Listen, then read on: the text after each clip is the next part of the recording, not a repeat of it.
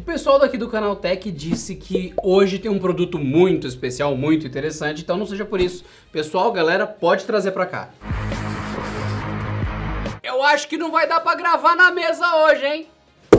Acho que a gente vai ter que ir pra lá.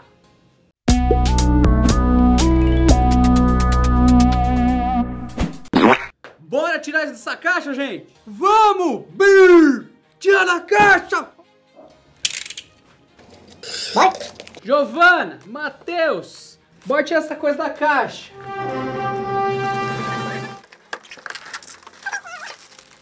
Tá focando, meninas.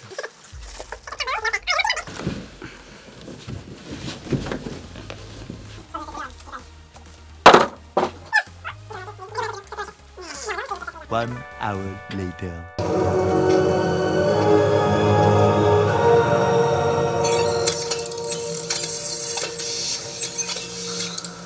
Está a TV montada, a TU 8000, que é o nome dela, de 55 polegadas, e eu perdi minha boina no processo de montagem. A ideia dessa TV, pelo que a Samsung divulgou, pelo que a gente viu, pela ficha técnica dela e tudo mais, é que essa TV tem a proposta de ser a linha de entrada 4K. Então, quando você pensa em uma TV mais simples, simples é muito entre aspas, porque é uma Smart TV 4K, cara. A experiência de entrada, a que seria mais acessível e que ainda assim tem a maior parte dos recursos, seria justamente essa TV deste modelo. Tem uma menor e tem outras variações de polegadas maiores. Mas a gente está com a de 55 aqui e ela já serve bem para mostrar as coisas interessantes. Principal fator, principal coisa que isso aqui tem de novo e que faz diferença na sua casa é Alexa. Ah, não sei o que é Alexa. Clica em Canal Tech, aqui embaixo, em algum lugar aqui embaixo do vídeo, tem um. tá escrito Canal Tech, é o nome do canal. Tem vários vídeos do Pedro, aquele cara bonito, barbudo, ranzinza, meio xarope. Aquele Pedro ensinando que lâmpadas inteligentes existem e são baratas. Alexa é aquele negocinho de som, controla toda a sua casa, já responde para você.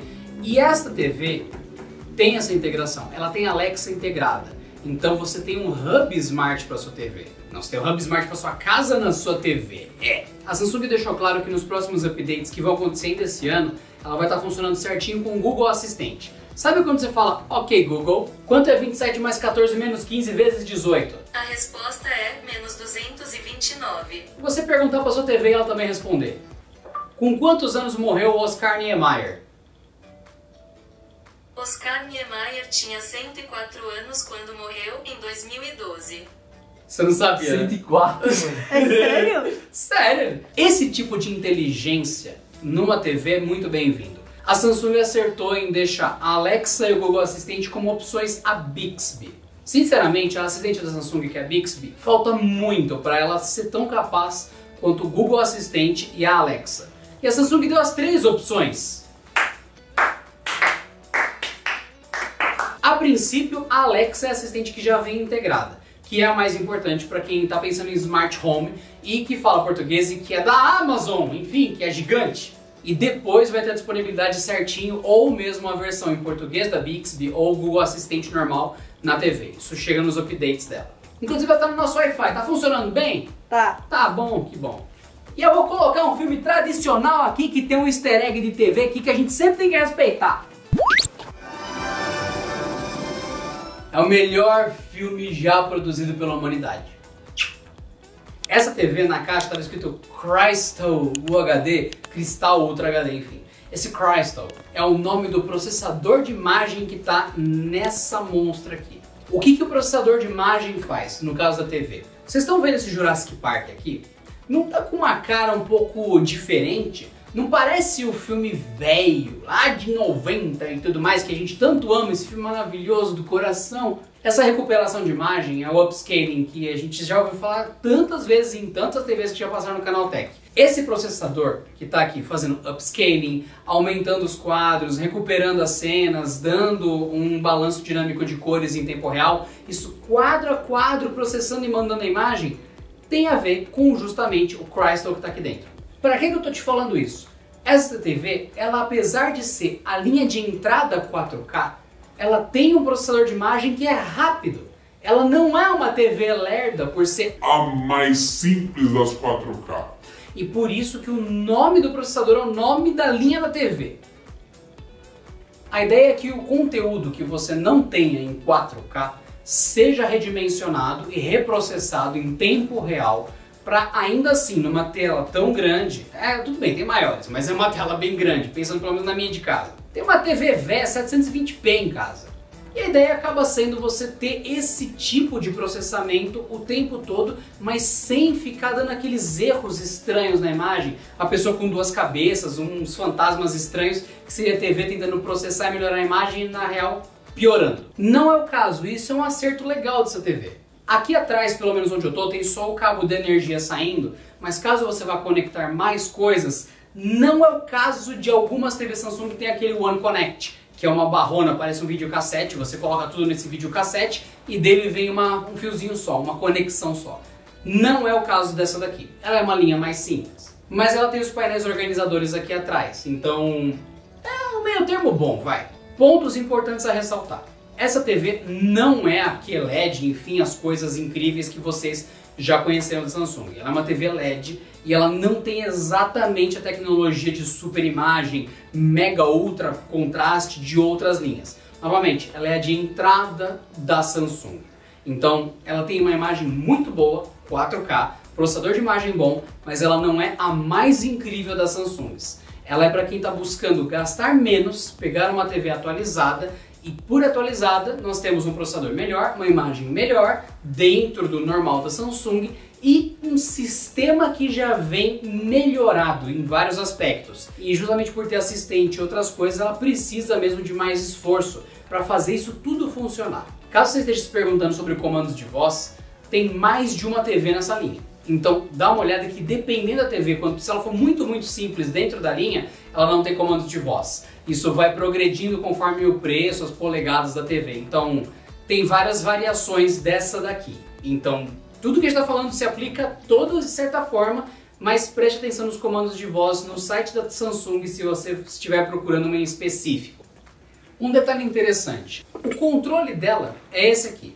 Ele parece muito e é praticamente igual, talvez até igual mesmo, os controles Smart nesse formato de boomerang que a gente já mostrou aqui no Canaltech em umas TVs passadas da Samsung. E isso inclui microfone, botão direcional e algumas ações rápidas aqui no controle. E você vai ter tudo isso aqui aparecendo na tela. Detalhe curioso que tem três atalhos aqui que são bem coisa de vô e de vó, mas que é útil estar no controle. É o atalho do Netflix, o atalho do Prime Video, que está passando aqui agora, e o Globoplay. Então se a pessoa só for usar isso, a TV Smart, tem Globoplay, ah, TV Smart, tem Netflix. Pronto, tá Netflix. Um botão, direto no controle. Controle não tem botão nenhum, tem só direcional, mas Netflix Prime, tá aqui o botão. Algo curioso que a Samsung fez nessa TV que eu não esperava que existisse fora da linha The Frame e fora da linha QLED, que é o modo ambiente. Essa TV consegue, já que tem essa pegada de poucas bordas, e vocês podem notar mesmo que ela tem uma borda fina. Não é super fina, mas é muito fina e para uma linha de entrada que não se propõe a ser aquelas TVs finíssimas, chiquérrimas da Samsung, ela faz um ótimo trabalho em ainda assim ter uma borda muito fina e se esconder bem na parede. Com os aplicativos Smart dela, você consegue disfarçar ela na cor da parede atrás e também consegue usá-la como moldura de fotos, baseado nas coisas que você tem, foto de família, foto de gato, de bicho, e ela fica, quando você desliga, ativa no modo de pouca energia e pouquíssima luz, com uma foto, com papel de parede, com alguma coisa, para se tornar um quadro vivo e não uma tela preta morta desligada, um espelho preto no meio da sala. A TV veio com o modo game, não deixa o input lag exatamente igual TVs para game, mas diminui muito o tempo de resposta dela. Isso é relativo a configurações, ao console, outras coisas, enfim, mas tem um input lag mais baixo disponível no modo de game, que ela desativa os enhancements, as melhorias de imagem e foca em tempo de resposta e não na recuperação de qualidade. Qual que é o resumo dessa TV? O sistema atualizou, o que é bom. É uma TV 4K HDR de linha de entrada, então teoricamente é a experiência básica para alguém que busca uma TV Samsung. Essa TV, pelo preço certo, faz sentido como upgrade. Sinceramente, essa TV saindo mais caro que uma QLED do ano passado não faz sentido nenhum você cogitar ela. Pega uma QLED, é melhor em tudo se você for pensar em a longo prazo. Mas, para quem vai trocar de TV por algum motivo e ver que esta TV aqui, que é a TU 8000, a série dela, está mais barato que as QLEDs da geração passada, faz sentido sim, mas só nesse aspecto. Ai, não sei se esse vídeo tá falando bem ou mal da Samsung, da TV. Não sei se o vídeo tem patrocínio, não tem? Primeiro, se fosse patrocinado, qual é o problema? Segundo, literalmente falando para você, não compre essa TV se ela estiver mais cara que uma QLED. Novamente, quando vira uma geração, a geração passada fica bem mais barata. E esta TV não é uma QLED. Este vídeo que a gente fez aqui, esse hands-on, dessa TV que chegou aqui, vai ficar quando, Matheus? Vai ficar 15 dias ou 20? 20. Essa TV que vai ficar 20 dias aqui pra gente testar, escrever matérias, outras coisas e tudo mais, ela é uma novidade por ser da linha acessível. Não é que ela traz o melhor em TV que a Samsung já teve. Tanto é que as linhas mais caras são as que vocês menos procuram aqui no Canaltech e as que vocês menos pedem. A gente resolveu dar uma olhada e fazer esse hands-on, essas primeiras impressões dessa TV, justamente pelos pequenos upgrades, dela ser mais rápida, ter uma imagem melhor, mesmo não sendo a melhor imagem da Samsung, e trazendo o assistente integrado, que para mim é o maior ponto de importância dela. Fácil. É uma TV smart mesmo, não é só, ah, é aquele sistema horrível. Não, não é. E a Samsung agora assumiu que o nome do sistema é Tizen, aquele Tizen desde sempre, gente. Pá, Samsung assumiu o nome, que bom. Pra você que não sabe o que é Tizen, é o Android que roda na TV desenvolvido pela Samsung. Não é Android, mas é pra você entender melhor, tá bom? E é um sistema bom para Smart TV, por incrível que pareça. Duas informações extras, ela tem mais ou menos 15 kg de peso, fica quase ali nos 15 kg, e ela tem 3 HDMIs. Vocês sempre perguntam isso. Vamos mexer no sistema dela rapidinho? Esse é o momento mais emocionante de Jurassic Park. Ah, foi mal.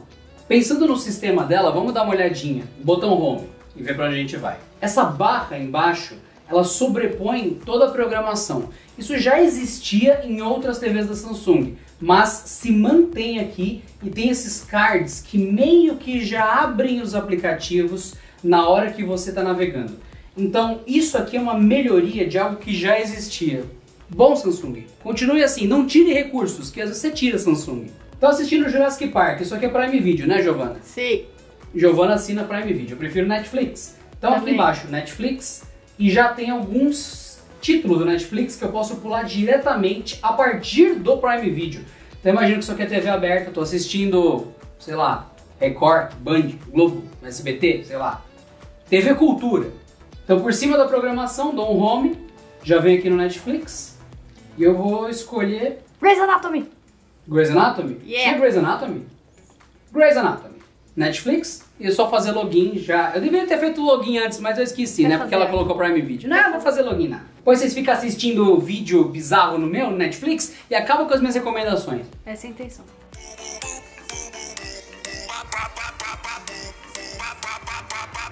YouTube da mesma forma acessível e o aplicativo da Apple TV. Uma coisa que talvez não seja normal para algumas pessoas, mas existe uma parceria muito grande entre a Samsung e a Apple recentemente. Inclusive os televisores terem uma compatibilidade tão grande a ponto de vir com o aplicativo da Apple TV aqui. Não é brincadeira não. e aqui temos o canaltech.com.br e a notícia de hoje é que o PlayStation 5 virá em duas versões. É uma Smart TV. A ideia é justamente você poder fazer esse tipo de coisa, não é que você vai fazer. Eu apertei o modo ambiente aqui para testar e daí ele entrou aqui. Bem-vindo ao Ambient Mode. Reviva suas memórias preciosas. Iniciar o modo ambiente. O que você vai fazer? Eu adoro hands-on porque é uma descoberta junto com vocês, é muito interessante. A gente já sabe parte do que acontece, a gente já tem pré-testes da TV, mas tem parte da experiência que é descobrir junto com vocês em tempo real. E é lindo isso. Vocês não acharam minha boina ainda, né? Não. Então, por exemplo, a gente está assistindo alguma coisa, está navegando aqui no Canaltech, modo ambiente, aqui no botão. Vamos ver como fica a linda paisagem.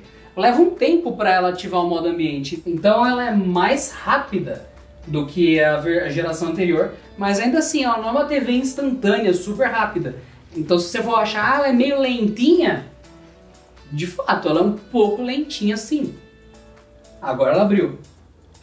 Você pega The Frame, por exemplo, ou a QLED, quando você manda o modo ambiente, na hora. Ela tá bem mais rápida do que as gerações de entrada, mas ela ainda assim é uma TV que pensou um pouco, pouco, mas pensou. Ela é a TV mais humilde lin- da linha 4K. É óbvio que ela não é tão poderosa quanto as QLEDs, por exemplo. Óbvio. O menu das configurações é super simplificado. Na real, quem já usou uma Smart TV da geração anterior da Samsung é bem familiar com esse, manu- com esse menu aqui. Esse manual é ótimo. Muito bem, entramos com a conta Amazon da Giovanna para sacanear ela aqui. Feito com sucesso, você está conectado ao Amazon Alexa. Ok. Alexa, quanto é 27 mais 12 menos 14 vezes 23? Menos 14 vezes 23 é igual a menos 283. Alexa, qual o clima para o final de semana? Não tenho certeza de onde você está. Alexa, qual o clima para o final de semana em São Paulo? Neste fim de semana em São Paulo, Brasil, a previsão para domingo é de chuva. O resto do fim de semana será de sol, com máxima de 83 graus Fahrenheit de mínima de 59 graus. Se realmente fizer 83 graus, estaremos todos mortos no final de semana. Minha dica é que talvez você tenha que configurar para graus Celsius e não Fahrenheit, mas fica a dica. Alexa, qual a distância de São Paulo até o Rio de Janeiro? De São Paulo, Rio de Janeiro está a 447,2 quilômetros de carro. Pode parecer inútil a TV responder essas perguntinhas, mas é um avanço muito grande. Quando você tem a sua TV Smart ligada na Alexa, igual a gente está agora, e com a sua lâmpada funcionando, com a sua garagem conectada, você pode mandar um Alexa, abre a porta da garagem. Isso é muito interessante. Ou então, Alexa, liga a cafeteira. Aí a cafeteira liga e já começa a passar o café. Porque tem adaptador da Amazon, inclusive, tem como você comprar isso pelo canal Tech, porque a gente já mostrou para vocês as lojas que tem. Sério, tem desconto. Inclusive, a gente comprou bastante coisa aqui. A gente perdeu um dinheirão por causa dessa oferta.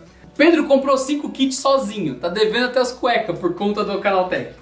Pedro tá quase dono da Amazon. Exatamente. Compra o Alexa. Tem um cara chamado Domingos aqui, então, que tem tudo da Amazon, é louco pela Amazon. Você compra uma tomadinha um da Positivo ou de outro kit Smart que seja compatível com a Alexa e que vende aqui no Brasil e que é barato. Você coloca na tomada e transforma qualquer coisa em Smart. Você chega, Alexa, passa café. Ela entende que aquele comando é para aquela tomada que você atribuiu que se chama passa café, por exemplo. Então, por exemplo, você está assistindo CSI por algum motivo, porque todo mundo já assistiu mil vezes, e você quer interromper isso para perguntar uma coisa para a TV. Quanto é 27 vezes 13 menos 14 dividido por 12 vezes 8? 27 vezes 13 menos 14 dividido por 12 vezes 8 é igual a 341,6667. Em cima da programação. Me lembre de comprar pão amanhã de manhã. Para poder ajudar você com isto, preciso saber qual é o seu fuso horário. Defino em configurações do dispositivo no aplicativo Alexa. Me acorde daqui a 15 minutos. 15 minutos, começando agora. Resumindo, posso assistir CSI, tá vendo alguma outra coisa em algum canal de TV, em algum aplicativo, e eu posso chamar a Alexa por cima disso para me lembrar daqui a 15 minutos que eu tenho que sair para trabalhar, tenho que tirar alguma coisa do fogo. Que horas são? São 23 e 3. É muito útil ter um assistente na TV. Ponto. E eu precisava mostrar isso para vocês, porque é justamente o hands-on. É a primeira impressão da TV. E apesar da gente, na hora de trocar de aplicativo, ter sido um pouquinho pensativo, até para entrar no modo ambiente, modo ambiente, ela vai pensar, pensar, vai reiniciar, vai entrar no modo ambiente. Isso não foi verdade durante o uso do sistema, nesse hands-on. Para chamar assistente foi imediato, as respostas foram imediatas, o aplicativo que estava rodando de fundo continuou normalmente e tudo funcionou. Então, na real, o sistema da Samsung ele tá mais rápido. Ele tem alguns momentos de espera, como por exemplo aqui que está aplicando o modo ambiente, está entrando no aplicativo. Mas durante a programação, não.